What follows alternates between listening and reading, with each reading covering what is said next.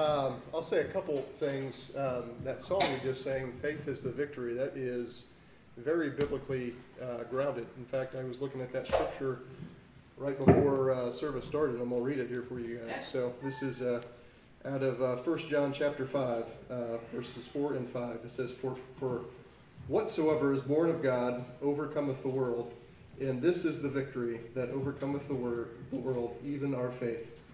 Who is he that overcometh the world? But he that believeth that Jesus is the Son of God. So, what, what, a, what, a, what a great truth. Um, you pray first while we sing here.